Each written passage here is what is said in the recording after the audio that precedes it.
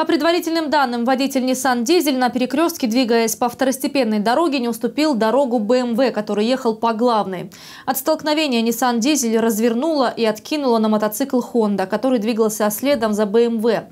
После чего мотоцикл отбросила на легковую иномарку. В результате водитель мотоцикла с травмами различной степени тяжести был госпитализирован.